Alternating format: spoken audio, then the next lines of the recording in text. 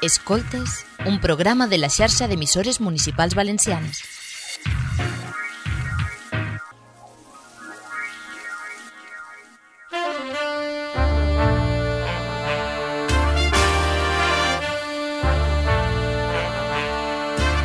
Així comença La Represa, un programa de debat, de diàleg, de reflexió i d'introspecció. En definitiva, un programa de trellat.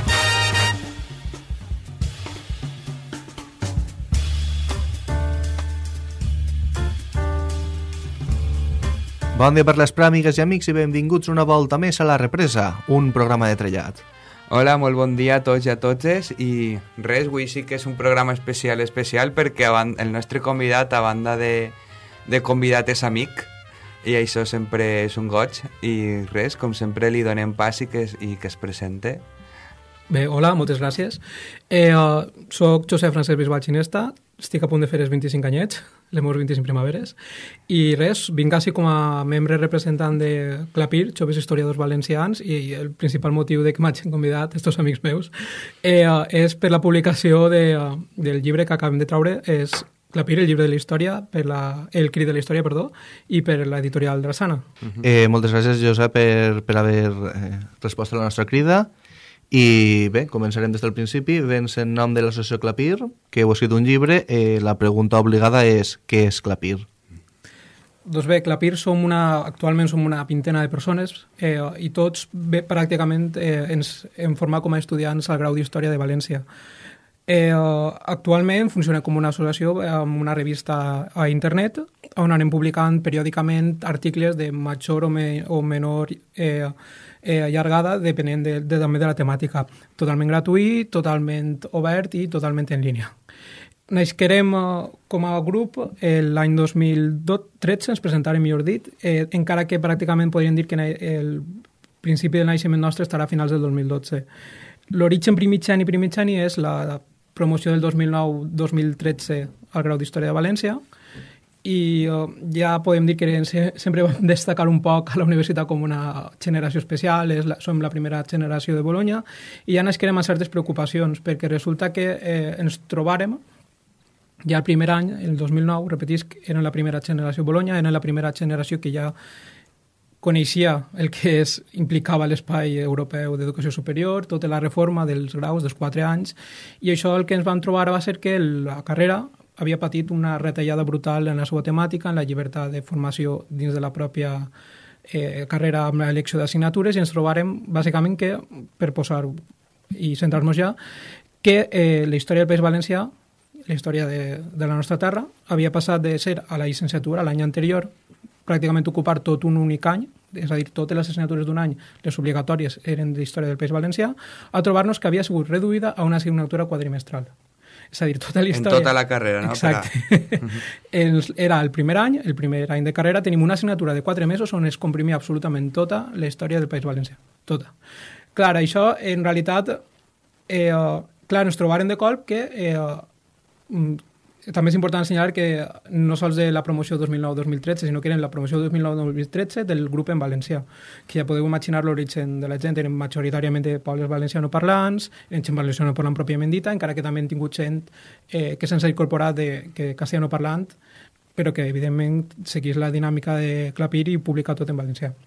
Doncs bé, clar, ens trobem gent amb certes inquietuds, també per l'ambient, ambientals diríem, ens trobem que el, la història del que considerem el nostre poble havia sigut reduïda pràcticament a, a, quatre, a quatre mesos. I això ja naix ahir una certa recremor que a tots ens va picant a poc a poc i, i clar, si tens interès per la història del teu poble, de, de cop et trobes que la universitat, que era el lloc on eh, aprendries veritablement la història del teu poble, que no havies pogut tindre amb, amb certa qualitat a l'estudi a primària o a secundària o inclús al propi batxiller, de cop veus que tampoc. Que que has de tu fer-te una pròpia formació fora de la pròpia universitat per a arribar a tindre el nivell que tu t'estàs demanant a tu mateixa. Clar, això va, va quallant, va quallant, va quallant i fa que a l'últim any, al quart de carrera, al quart de grau, entre converses entre nosaltres va, van sorgint temes, temes, temes i acaba derivant amb això, en formar una, associa, una associació d'estudiants que s'autoorganitza ella mateixa i vaig que publicant teme una, eh, vaig que publicant articles de divulgació, és a dir, tot el que jo nosaltres havíem estat investigant per a autoformar-nos nosaltres en història valenciana i oferir-ho al públic amb un contingut divulgatiu, però sempre des de la seriositat acadèmica eh, pròpia d'una un persona que estava formant com a historiador i que pràcticament estàvem a punt, a escassos mesos d'obtindre ja la nostra titulació universitària. Uh -huh. I molta gent es va preguntar eh, el nom de Clapir, d'on el traieu? Sí, sí, el nom de Clapir va ser... Uh, al principi no teníem nom. Com tota associació, eh, uh, més enllà de joves historiadors valencians, que estava clar, o joves historiadors i historiadores valencians, no tenim un nom. I un dels companys recorda que bueno, diversos, diversos companys van arribar amb una proposta del nom clapir, que és un verb del valencià, un dels verbs, una d'aquestes paraules en perill d'extinció, diríem, del valencià, que significa... Eh, és un crit eh, com... És un crit com a... Un crit d'atenció, diríem, és un crit eh, fort, un crit... Eh, sí, enèrgic, no? Sí, un crit enèrgic, clar. Era en part el que simbolitzava molt bé també, ei, estem així, ell, estem oferint-vos això, ell ha passat això, eh, ell, la història valenciana existeix, ell, ell Sí, era un, exacte, un crit enèrgic, era una manera de, també un crit protesta, diríem, uh -huh. a tota la situació que ens havien trobat. Eh, i continuant amb el de Clapir també, ens, és important assenyalar que com a bona generació post-primavera valenciana, post-15M, funcionàvem i funcionem d'una manera assembleària, eh, cosa que també té les seves coses bones, coses males, també és, ja sabeu com funcionen els temes assemblearis, eh, però bé, anar quallant, quallant, i finalment ens presentarem en societat al febrer del 2013, on llancem una web i on llancem ja els primers articles uh, online. Uns quatre i ahir ja anarem per periodicitat, en principi una periodicitat més de, eh, pràcticament totes les setmanes i ara depenent de, també de, de, de la pròpia gent, perquè no, no hem de recordar que som estudiants, alguns ja han acabat, altres encara estan, encara estan formant-se en, ja en els màsters i depenent també de la pròpia circumstàncies personals hem anat variant i tal, però contínuament i no hem parat pràcticament des de febrer del 2013 fins a avui dia no hem parat Clar. les màquines. Uh -huh. I m'imagine que arran d'estos articles que publiqueu en la, en la web és com s'arriba al llibre, no?, que heu publicat en la Drassana recentment. És, sí. és una recopilació d'estos articles o són tots articles de nova empremta o, o sí, com s'arriba sí. al llibre, seria la pregunta en si. Sí, Clapir, eh, en aquests últims anys haurem publicat uns 200 ja, on segurament superarem de prou ja la xifra de 200 articles, eh, i va sorgir l'oportunitat amb eh, Vicent Baidal, que també és historiador, i, i ell, de fet, ell era un dels nostres referents perquè, de, referents perquè Vicent és membre d'ARCA, uh mhm. -huh. valenci, eh, joves medievalistes valencians. I, clar, eh, va ser progressiós perquè en part ells eren culpables del nostre naixement com a referent, era un dels nostres referents de gent de la universitat jove que estava oferint també una història molt divulgativa cap a un públic gen, més o menys generalista valencià, i com a referent nostre va ser prou curiós que ell fora tant l'origen molt indirecte, però com a, com a referent, però sí de Clapir, eh, i ara ell, com a figura com a editor de Drassana, es va oferir a fer-nos un llibre amb, una, amb un recull dels, dels articles de Clapir, que um, fent un recull de 15-20 articles en principi, al final van ser uns, uns 21, intentar abastar un, tot l'eix cronològic majorita, eh, un major possible de la història del País Valencià i, ja, i elegint ja dels articles publicats amb algun, amb algun eh, poc de poliment perquè clar, no és el mateix el format de llibre físic que el format de revista electrònica. I bé, al final eh, això estarem parlant de uh, gener de l'any passat més o menys i ha arribat a les llibreries pràcticament ara, al desembre. en un any de temps, amb polint, amb correccions, amb xicores canvis, però bàsicament això és la feina. I al final ha arribat a, casa, a les, les llibreries ara en, per a l'època de Nadal. Una de les novetats nadalenques o sí, hivernals de llibres de la Drassana i abasta des de la Valentia Romana, des de la fundació de la ciutat, uh -huh. a el final de la Segona República, és a dir, eh, abarca diguem, tota la història del País Valencià des de, des de la creació de la ciutat romana a, al final de la Segona República. Sí, bàsicament abasta exacte des de el naixement de la Quibis, de la ciutat, d'aquesta ciutat romana, que és la que al final dona nom a, al nostre país, fins al propi final de, eh, de la Segona República, de, de l'experiència anterior al franquisme, de l'experiència democràtica anterior al franquisme. I i com acaba, a, a bastant evidentment és molt variat. Tenim exactament, ja ho has dit, doncs de, entre això tracten des del teatre romà, els eh, de teatre romans, el problema de la lepra, diferents successos i revoltes tant anarcosindicalistes com federa, confederalistes que han hagut al país, de, tracten també la temàtica de les dones. També tenim molts articles que, eh, perquè diverses companyes nostres sí que és veritat que se centra molt en la temàtica de gènere, tant del paper de les dones a les germanies valencianes com també els oficis, diguem-ne, femenins propis del segle XIX i principis del XX, com poden ser les cigarreres, i és molt variat, la veritat és que és un llibre que pràcticament pot atraure a un gran ampli espectre de, de, espectre, espectre de públic tant eh, si li interessa, diguem-ne, els fets més relacionats amb la pròpia societat i abans de la, la societat intra, dins de la pròpia societat, de les relacions dins de les pròpies societats en un moment concret, com al llarg de la pròpia història, els diferents processos de canvi i successos que han hagut que, que, que han anat formant la configuració de la història del poble valencià. Uh -huh. I bé, com veiem, hi ha una gran varietat d'articles, també hi ha una gran varietat d'autors, no? si no m'equivoque. Eh, en Clapir sou una vintena de persones, però sí. al llibre participen un total de 16? Sí, al llibre som 16, però serem una vintena de persones. També, eh, encara que aquest, treba, a, aquest llibre no, no figura perquè ja depèn de l'editorial, també tenim fins i tot companys que s'encarreguen de l'aspecte lingüístic i de correcció i tal, que no, no pròpiament historiadors, sinó filòlegs. I sí, serem una vintena de persones, sumant una vintena ja, 21-22 eh, sumant la gent del llibre més la gent que per, per altres temes no, no, no ha pogut estar al llibre. I bé, com hem dit al principi, esta entrevista d'avui anava a ser especial. Eh, una altra de les novetats que anem a, a fer avui és que anem a estrenar-nos en les connexions telefòniques i anem a comptar en la participació d'algunes de les col·laboradores d'esta obra col·lectiva. Uh mhm. -huh. Així que ara comencem amb la, amb la participació d'Aida Ferri, que ens va parlar sobre l'època de la creació del Regne de València fins a l'expulsió dels jueus i centrant-se en la figura d'aquesta gent que practicava aquesta religió i de com d'un principi de tolerància, fins i tot podríem dir, no?, dels llocs d'Europa que pot ser hi més tolerància cap als jueus, a una etapa de persecució i que fins i tot en 50 anys canvia tot. Sí, sí, sí, així és, i de fet centrat en la figura d'un dels metges reials, una de les màximes eh, figures del regne com era Lluís Alcanyís, i com acaba, que és a la foguera i la seva mort. Doncs perfecte, anem cap a davant i endavant, Aida. Eh, molt bé, eh, bon dia, Aida, eh, ens escoltes? Sí, sí. Molt bé, Aida Ferri és una, una altra membre de, del grup Clapir, que també participa al llibre col·lectiu. El llibre... Participes en tres articles, no? El de la València romana. Sí. Un sobre sí. les cigarreres de València, també. Sí, també.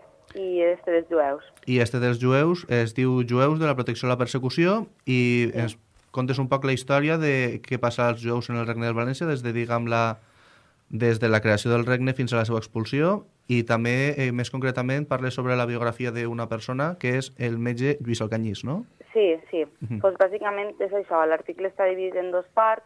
Una, una xiqueta d'introducció de, diguem, la situació dels jueus, com tu bé, bé has dit, des de, des de l'inici, de quan creà Jaume I el regne de València fins a la seva expulsió en el 1492 i ja després ens centrem concretament en el, en el cas de, de Lluís Alcanyís, no? com una persona tan important arriba a ser cremada per la Inquisició. Mm. pues bé, al principi, eh, parlant un poc així de forma introductiva, direm que eh, quan Jaume I va, va conquerir i va crear el regne de València a mitjans del segle XIII, eh, degut a l'expulsió de gran nombre de, de musulmans, va necessitar eh, reconquerir i colonitzar, i colonitzar gran part de, del territori eh, amb l'arribada de, de jueus. Per tant, va, diguem, afavorir la presència d'aquestes persones, concebint nombroses franques o ajudes per a que s'instal·laren en diferents nuclis, com pugui ser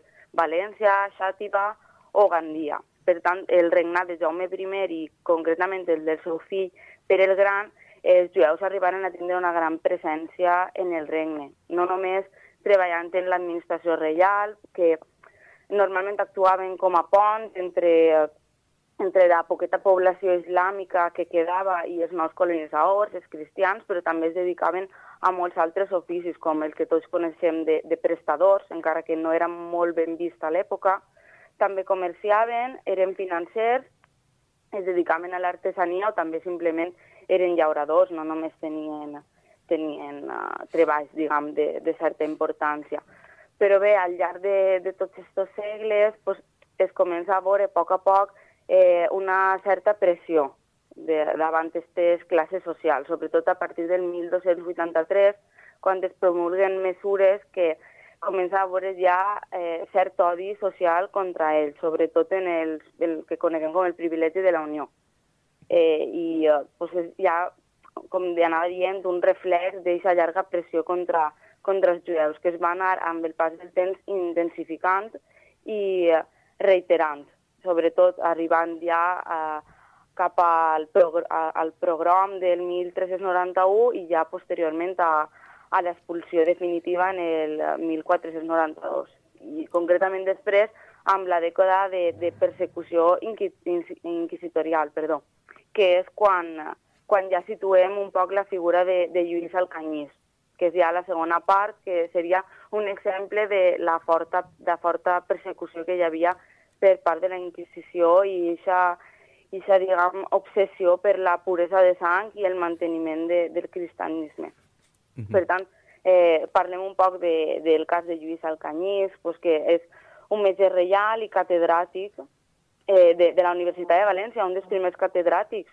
Per tant, eh, una persona molt influent i molt important a l'època, que va arribar a ser fins i tot eh, cremada, com anava dient. El situem a Xàtiva en el 1440 i va estudiar medicina en alguna de les escoles de la Corona d'Aragó. Al principi de la seva vida no, no es tenia tan clara eh, la, seva, la seva procedència o com es va educar, però sí ja comença a veure's i a exercir com a metge reial i no només com això, sinó també com a examinador de metges, és a dir, que portava a terme eh, la professió de professor i, i de catedràtic.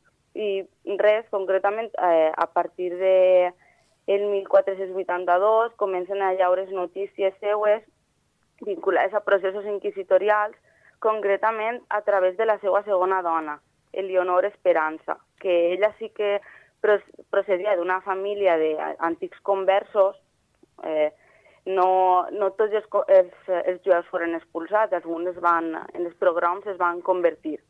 Entonces, eh, eh, la seva segona dona procedia d'una d'aquestes famílies, per tant, mm, en el, els edictes de gràcia, que era quan la, quan la Inquisició arribava a un poble, donava un edicte de gràcia, és a dir, eh, concedia un parell de mesos per a que els diferents uh, ciutadans pogueren anar lliurement a, a declarar les seues culpes i de les persones que sospitaven.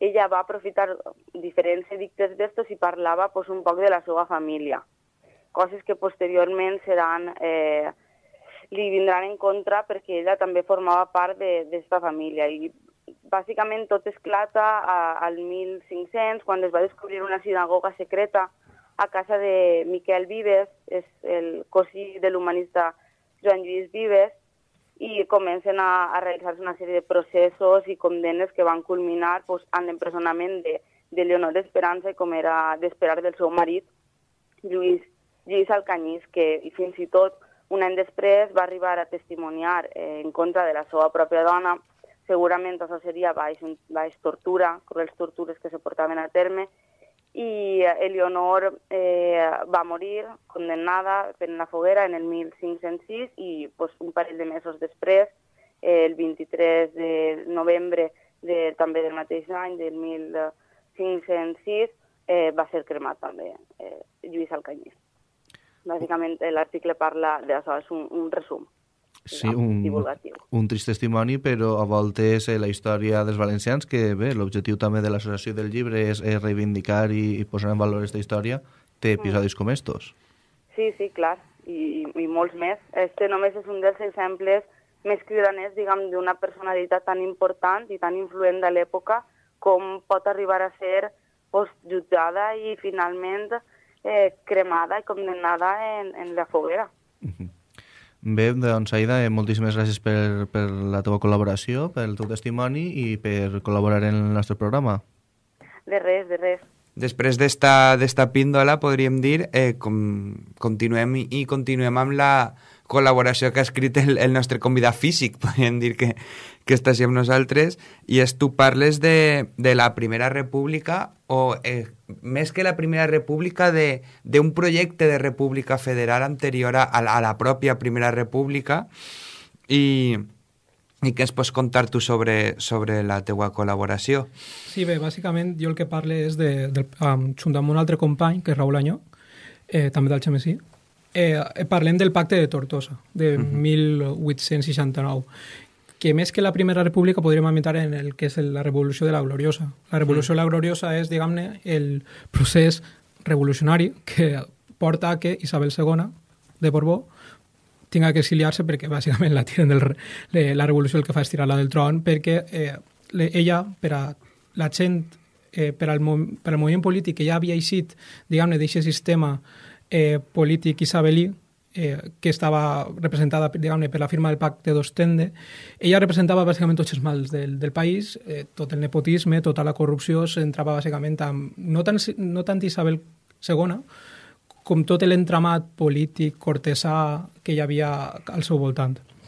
Clar, eh, dins d'aquest pacte, este pacte bàsicament està firmat per, tant, per diferents, diguem-ne, eh, opositors a, a aquesta monarca, unionistes i demòcrates. I Però d'una... un... Sí, simplement, en, sí. per clavar en context, és quan pues podríem dir que n'hi ha isabelins, n'hi ha carlistes, n'hi ha republicans, clar, sí. clar n'hi ha un, un cacau, per dir forma, i... Sí, és, literalment és un cacau que dona por.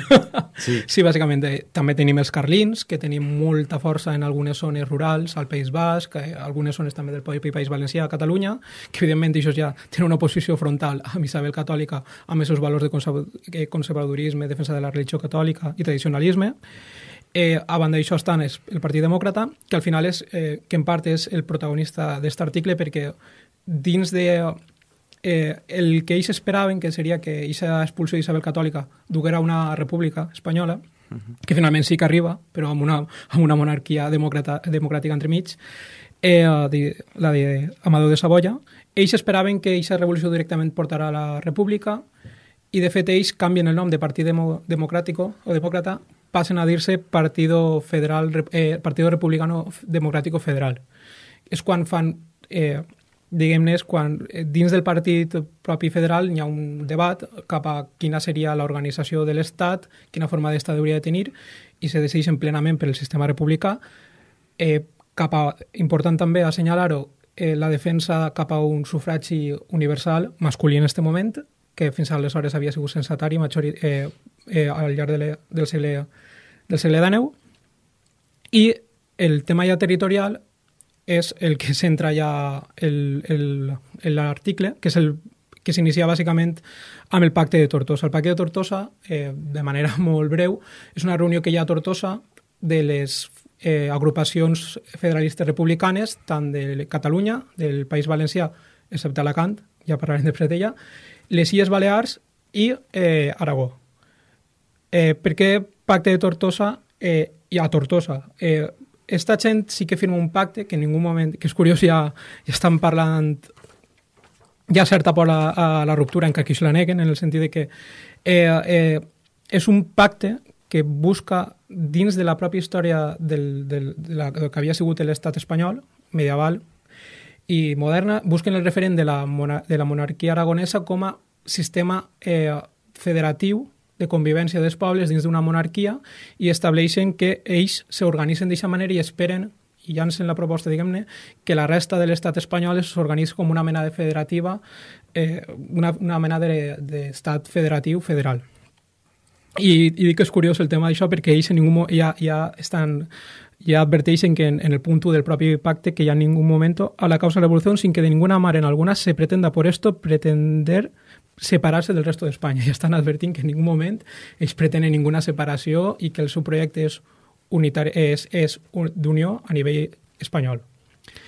Este pacte, eh, bàsicament això que ja he dit, eh, se llança la resta d'això, ja, ja té una certa contestació pel propi federalisme, perquè el, el federalisme mm, hi ha diferents concepcions, diguem-ne, de dalt a baix, de baix a dalt, bueno, és molt llarg d'explicar i millor, millor ho deixo per a que la gent ho pugui descobrir i entre l'article, però ja fins i tot eh, es contesten també per republicans no tant, que no sols poden ser federals sinó unitaristes, que el que volen és una república unitària.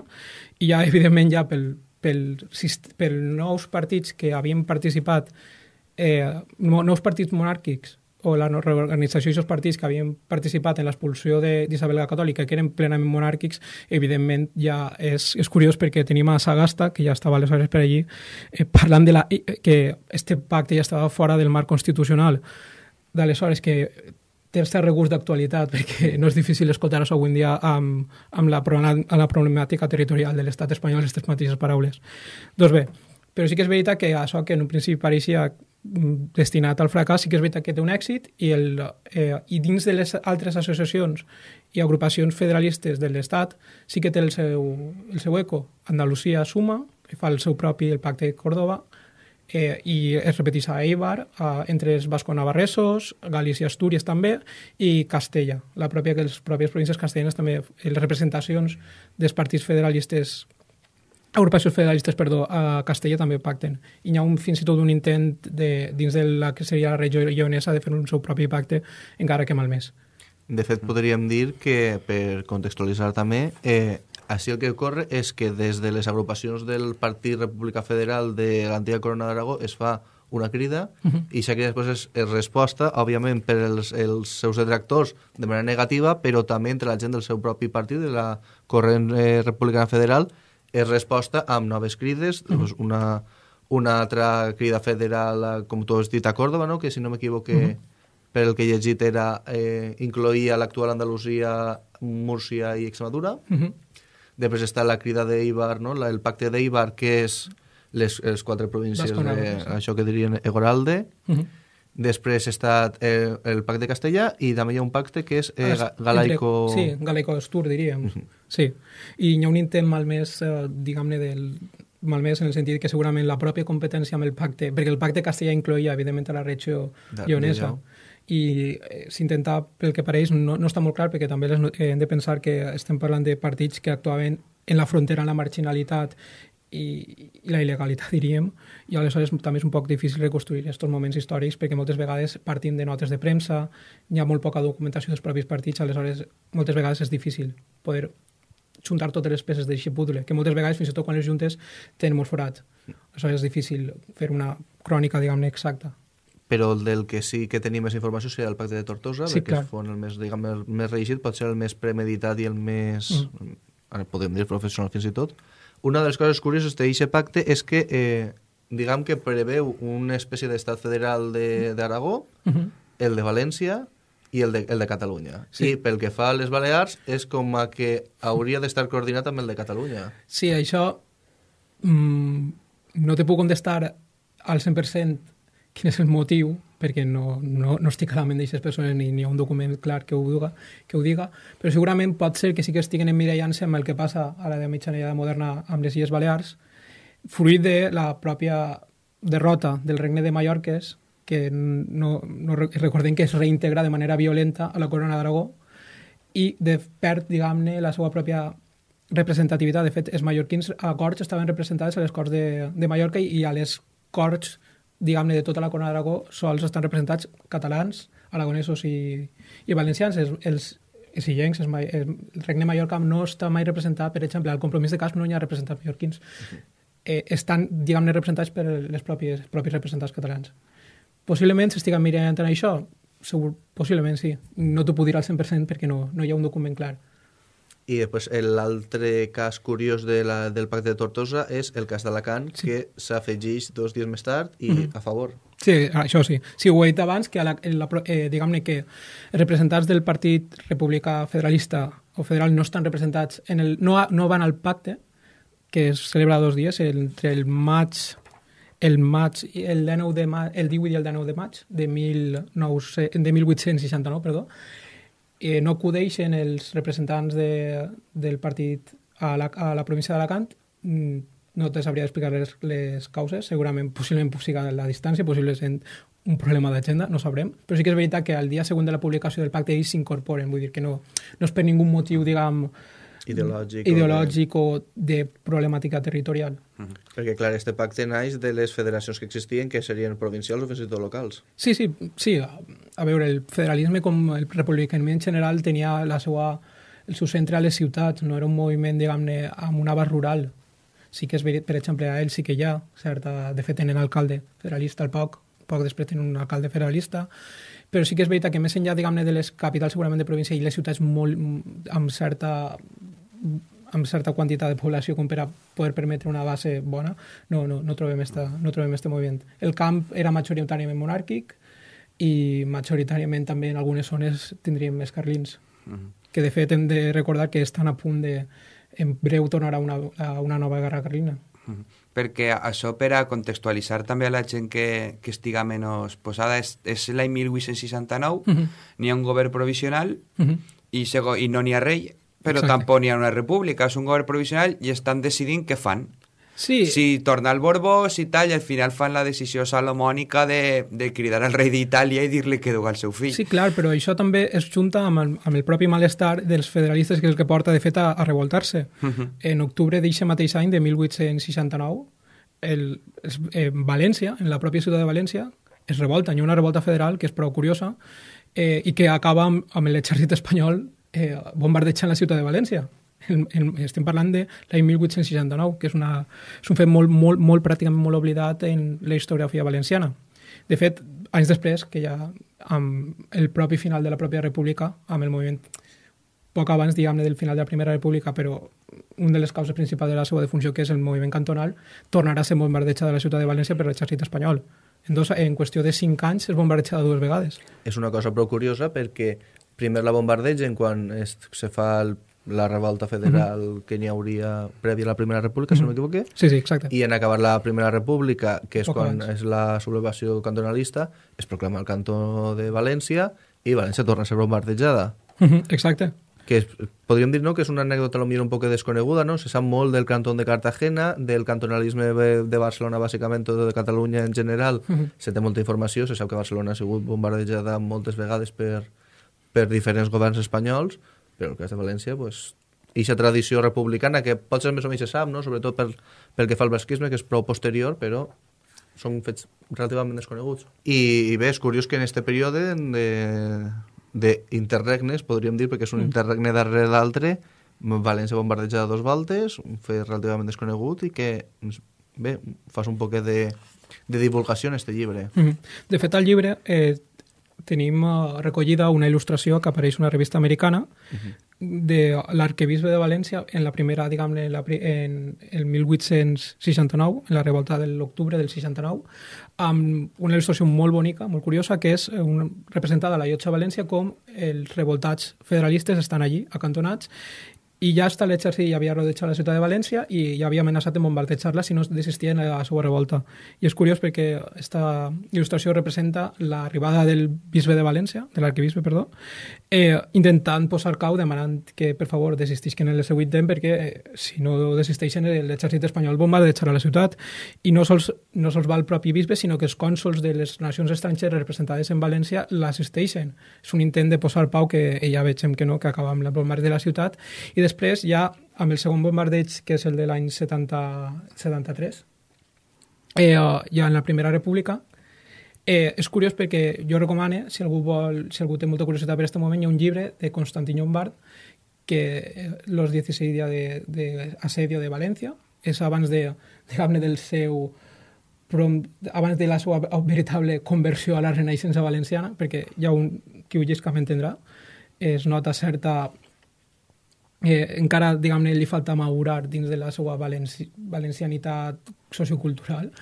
Eh, ell descriu el, com, com és tot el procés, diguem-ne, des d'una òptica molt crítica, tot el procés de la proclamació del canto i sobretot el, el setge que fa l'exèrcit espanyol i el final del propi canto de l'experiència eh, de, de baix cap a dalt, diguem-ne, que no hem de recordar que, els canto, hem de recordar que els cantons els cantons federalistes estan proclamats per el sector, diguem-ne, més extrem dins del propi federalisme, que són els intransigents, que són els que ixen del, del propi, deixen de recolzar el govern de, de Pi Margall i van a les... I, i de, eh, estan, bàsicament es produeix un moviment, diguem-ne, de la gent dels diputats que estan en les Corts de Madrid recolzant el, no, la nova república, que finalment es proclama d'una vegada Amadou de Saboya eh, desisteix en, el seu, en la seva monarquia i torna i se'n torna al seu país, eh, es proclama la Primera República i per les tensions pròpies, perquè no, hem de recordar també que hi havia majoria monàrquica Sí, la les... república s'aprova com amb el menor, en plan, del rei se'n va, perquè diu que això és un caos i se'n va. Jo diu, el rei, jo me'n torno a Itàlia. Més... Diu, pues mira, pues què fem? No, no,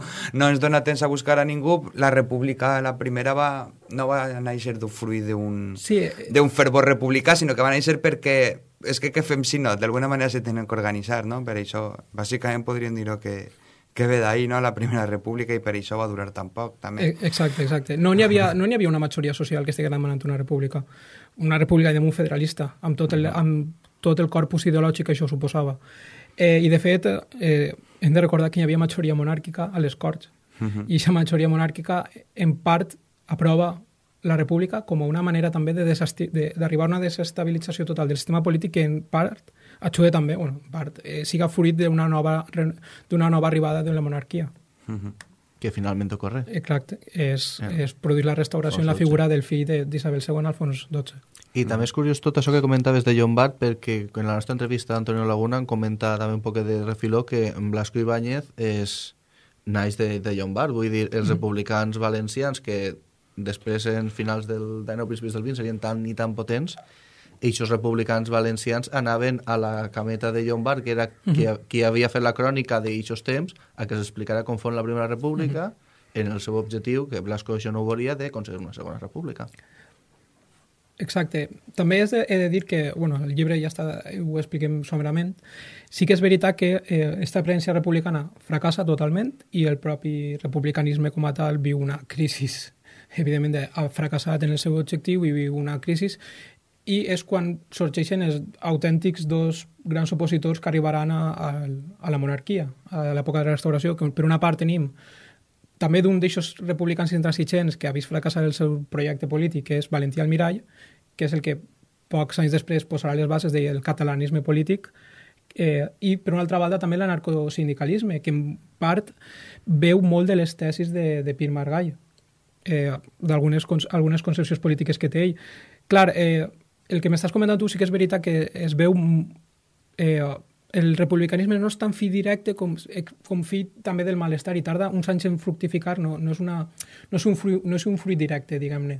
És que, exacte, ells veurien perfectament, és com el iaio adorable, d'una manera un poquet, eh, rebaixant el nivell, és com el iaio adorable que tens allí que te conta les batalletes. Sí, però ells no són fills directes de, de la Primera República. Sí que és veritat que tenen com tenen com un referent d'un fracàs i és un, també és un referent del que no s'ha de fer i un referent de diguem-ne d'una mala experiència. Segurament això possiblement, i això és una opinió personal, sí que tinga a veure amb, amb algunes concepcions del, del, del republicanisme de la pura respecte al tema territorial, que ja saben que, diguem-ne, que el tema territorial, federal, valencianisme, valencià no ho tenim molt, no, no ho tenim molt molt ben vist al principi, encara ah, que després sí que hi ha un fruit, que és el valencianisme, diguem-ne, de la Segona República, que és un fill clar del blasquisme i que eh, deriva en el partit d'Esquerra Valenciana. Però, de fet, ixe, entre cometes, antivalencianisme de la pura, que òbviament és molt matisable, Exacte. eh, ixe antivalencianisme cultural ve de, precisament de que ells es posaven del costat de Constantí Llombard, uh -huh. qui tenia un enfrontament, podríem dir que un enfrontament que venia de llarg, amb, els, amb el sector kosovo de la Renaixença.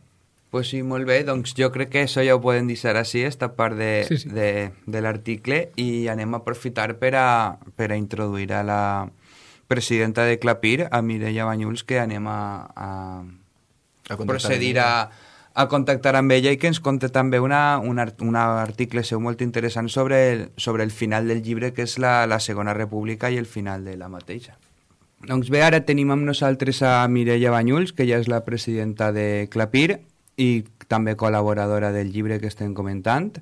Ella ha escrit, entre altres, un article molt interessant sobre, sobre el final de la Segona República, el port d'Alacant i, i l'exili. I res, li donem pas per a veure si es pot pues, contar, fer una breu introducció primer de, de per què va escriure aquest article i després ja aprofundim en, en el que ve a ser l'article en si. Bueno, bon dia a tots els que, els que escolteu el programa de la represa. Doncs bé, el, el, la veritat és que el tema de la Segona República, el, sobretot en el cas del País Valencià, és un tema que ha tingut bastant repercussió i sobretot en, els, en, estos, en estos últims anys. L'any passat, per exemple, es va commemorar el 76 aniversari del, de la desfeta del port d'Alacant, no? amb una exposició amb una exposició a la nau de la universitat, i la veritat és que ha sigut un... I també es va fer un viatge a, que va anar fins a Orà, no?, per a rememorar el, el tràgic final del, del port d'Alacant. La veritat és que és un tema que molta gent no coneix o que coneixen pues, d'una manera un poc, podem dir, superflua, no? Mm -hmm. La meva companya Júlia Jordà i jo eh, ens vam interessar per aquest tema perquè el van conèixer en l'últim any de la carrera, estan realitzant les pràctiques del, del grau d'Història en l'Institut Obrer de València, que té la seva seva paterna, i allí pues, entrarem en contacte amb, amb, amb més o menys la història que havia viscut la gent que havia anat al port d'Alacant i eh, coneguerem el llibre de, de les germanes Ella i Alicia González Beltrán.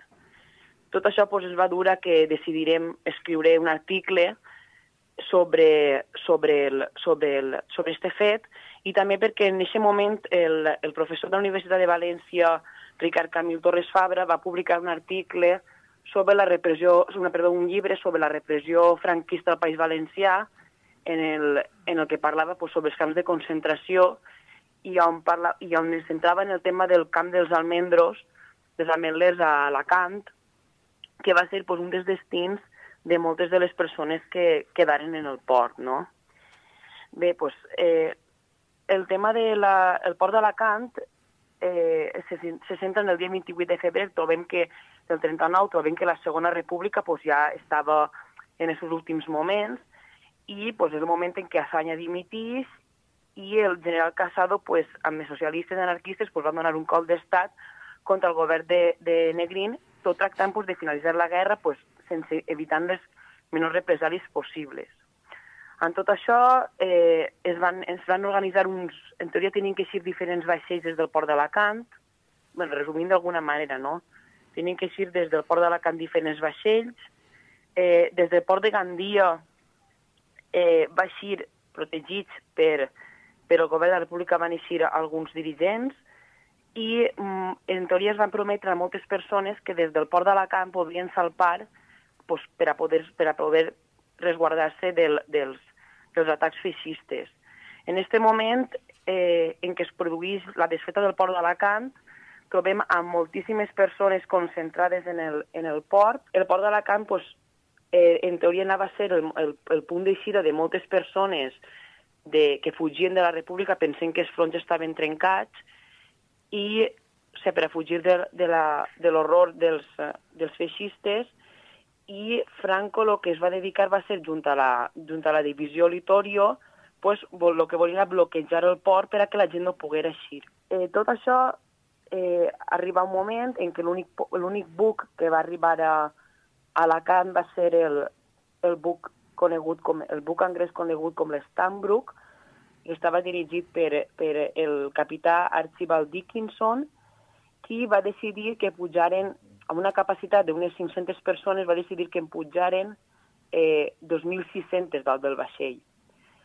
En tot això, embarcaren fins a Orà, en arribar a Orà, en arribar, és que van poder embarcar quan arribar a Orà i no es van deixar desembarcar, molta gent va tindre que estar, tot que van ser un, unes, no sé exactament els dies, però van estar uns quants dies dalt del vaixell, que no podien desembarcar, perquè no es donaven els permisos i tal, i allí pues, bueno, va ser una concentració de, de personal, falta de, de menjar, eh, unes condicions sanitàries i higièniques pues, nefastes, i això pues, va, va, va comportar la, la, que, es, o sigui, que començaven a aparèixer malalties dins de la, de la i tal.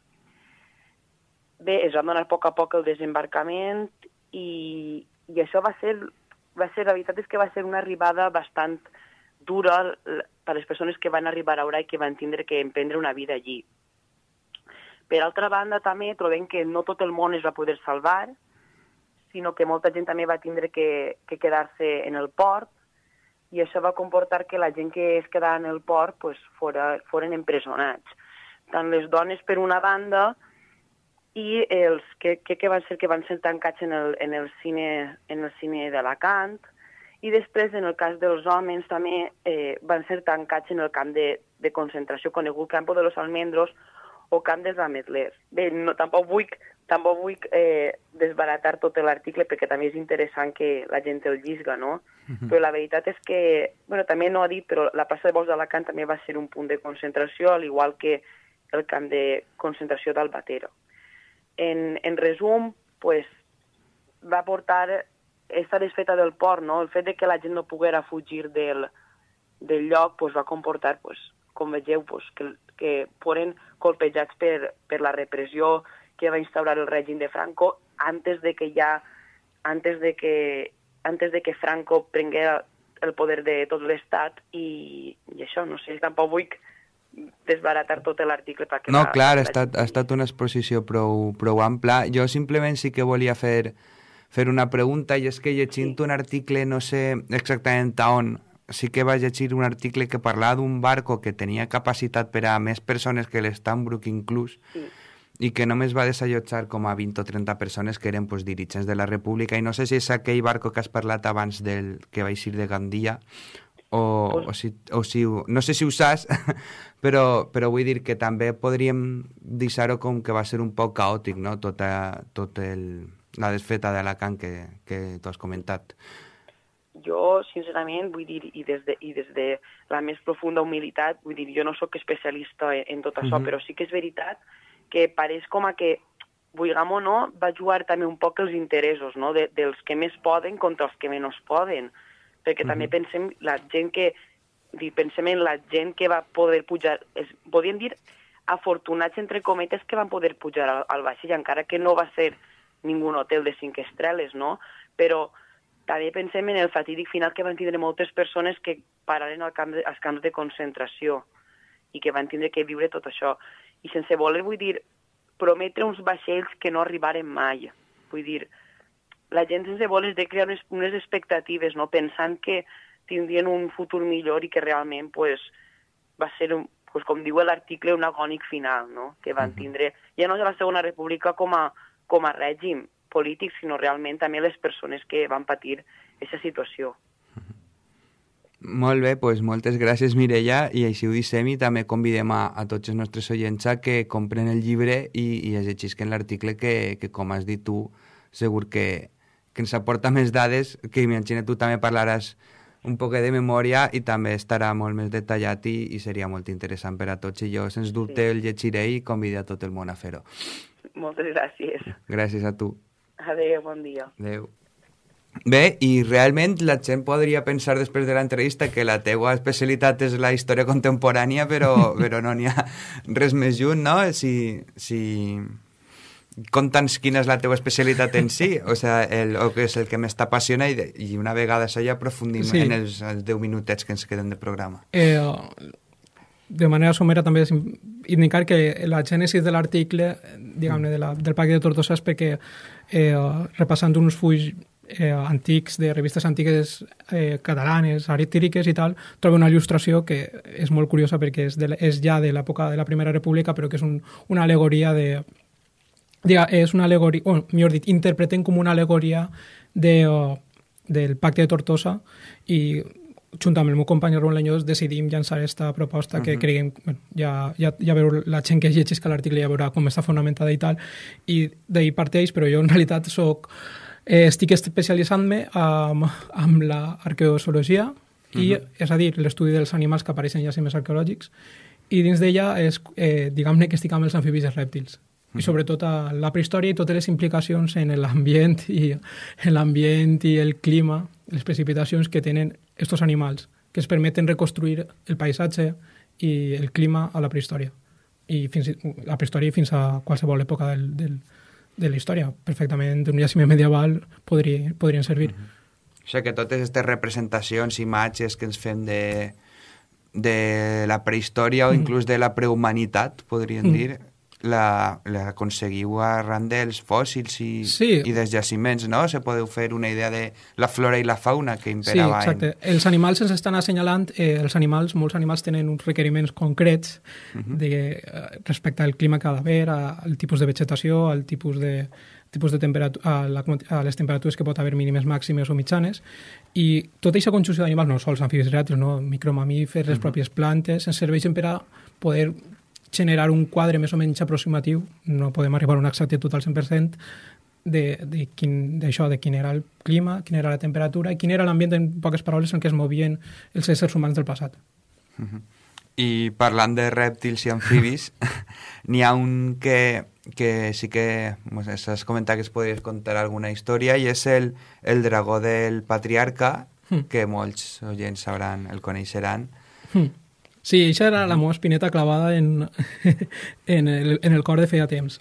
Resulta que, mm, com qualsevol persona aixina que s'hagi mogut un poc per la València històrica, pues, coneixerà el cos del cocodril que hi ha dissecat a, a l'església del Corpus Christi de València, davant de l'antiga universitat, i ja des de menut sempre m'havia fet certa gràcia i tal, i sempre m'havia tingut ganes de- de- d'investigar un poc més en ell. I, clar, va ser quan ja, ja, més, amu, ja més, més major, quan ja vaig entrar a la universitat, al mirar en ell els llibres d'història, més generalistes i un poc més especialitzats, veia que no hi havia res sobre ell.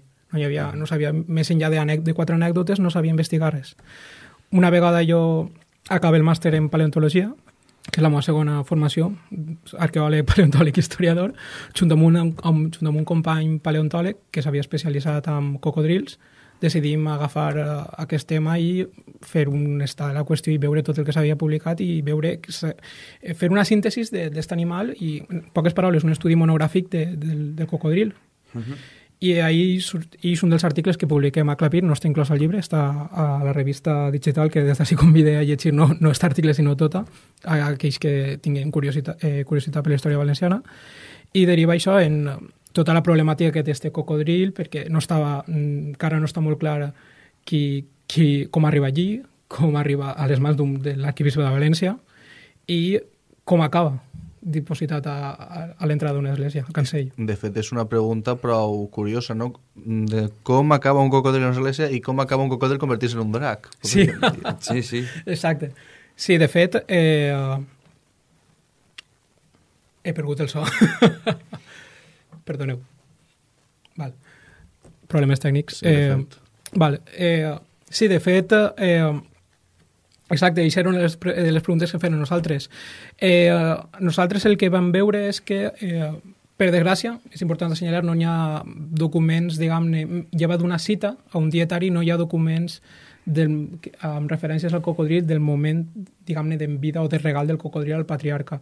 L'única cita que tenim és de Pere Joan Porcar, que és un, un religiós de València que fa un dietari i recull que el 7 de juny de 1606 este cocodril que, tenia, que portava per nom Lepanto és posat al cancell dissecat ja, ja mort, evidentment, i és posat al, car, al cancell de l'església i que havia sigut un regal, un regal que li havia fet un servent a l'arquebisbe.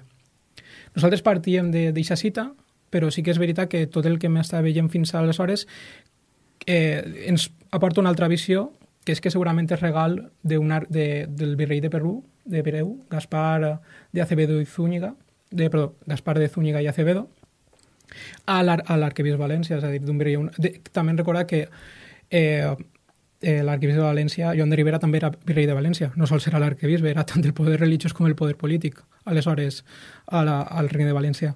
I segurament és un regal eh, que li dona el, este el virrei de Perú a la, al, a l'altre virrei de València. Sí que és veritat que no hem pogut trobar exactament quina era la relació, quin era el motiu principal d'aquest regal. Per desgràcia, eh, com hem dit, no hi ha documents, no hi ha documents contemporanis d'este regal o de la vida del cocodril i ens en basem sobretot en una font que ens dona Teodor Llorente de, quan parla sobretot de, de l'altre cocodril, perquè segurament van ser dos cocodrils, un que estava, un que estava al monestir de Puig de Santa Maria, que actualment des, desaparegut, eh, destruït segurament a la Guerra Civil, i l'altre és el que encara es conserva a l'església del Corpus Christi.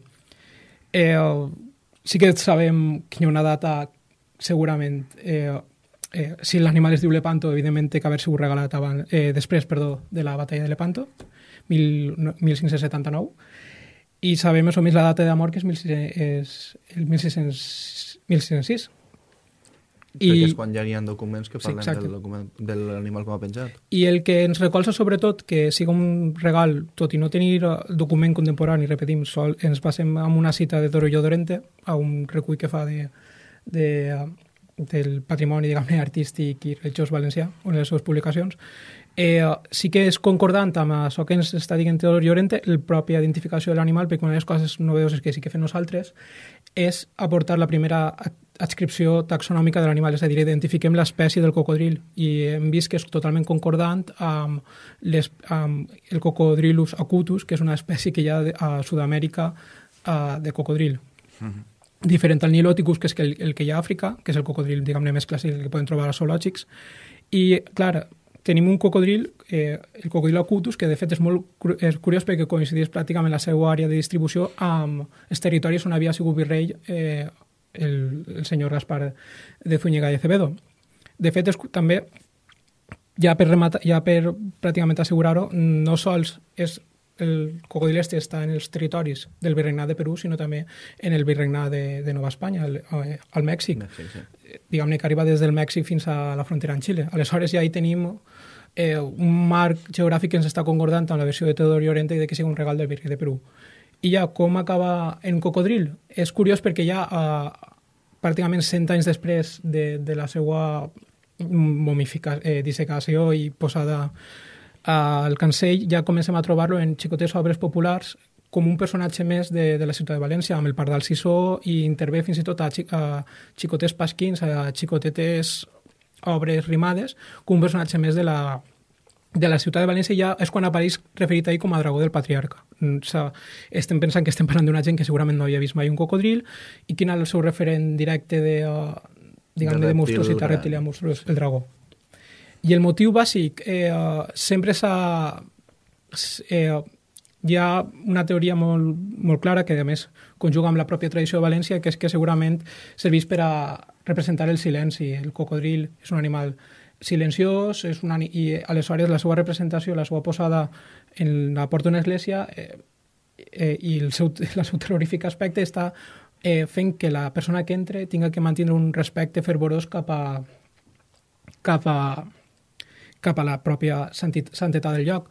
No obstant això, nos, eh, nosaltres aportem eh, per primera vegada aquest tema, perquè sí que és veritat que este sí que s'havia discutit, perquè és, no és l'únic cocodril que hi ha a la porta d'una església, sí, sí que és veritat que és de, dels pocs que hi ha la corona d'Aragó, perquè majoritàriament es troben a esglésies del que seria l'antiga corona de Castella, fins i tot a Itàlia. Eh, eh, nosaltres sí que llancem una teoria respecte a un document sí que, sí que d'aquesta època, a un document italià, eh, amb l'emble- amb l'emblemata, eh, sí que veiem que segurament eh, possiblement estiga posat ahí més per un valor apotropaic.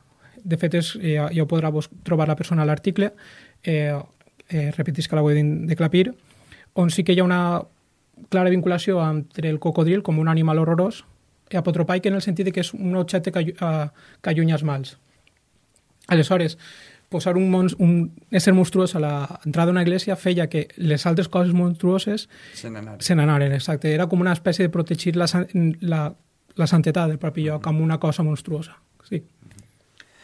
Doncs bé, amb aquestes monstruositats deixem, deixem el programa d'avui i res, convidem a la, als nostres oients a la setmana que ve i a visitar la pàgina de Clapiri i si volen comprar el llibre en la, en la web de la Drassana o en qualsevol Sí. llibreria el podran, el podran trobar. Llibres de la Drassana ben per internet. Bé, el llibre forma part del Verkami, que ja, quan vam fer el programa pilot amb Vicent Baidal ja vam parlar d'aquell Verkami, i distribueixen a diferents lli- llibreries i...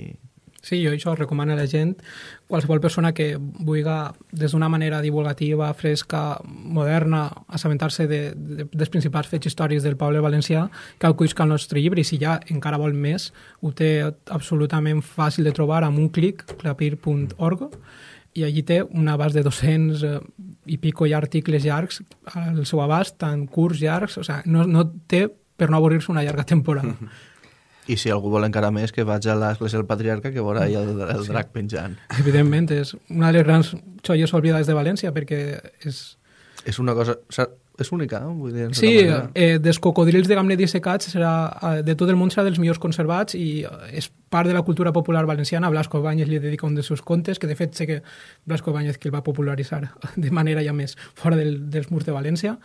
I ahí està el pobre acumulant pols, ja du 400, 410 anys ahí acumulant pols i n'hi ha que visitar-lo, el pobre. El nostre amic Lepanto. Exacte, Lepanto. Molt bé, doncs si vols en esta reflexió acabem el nostre programa d'avui i res, eh, convidem els nostres oients a continuar sintonitzant-los en les properes entrevistes que farem a la represa.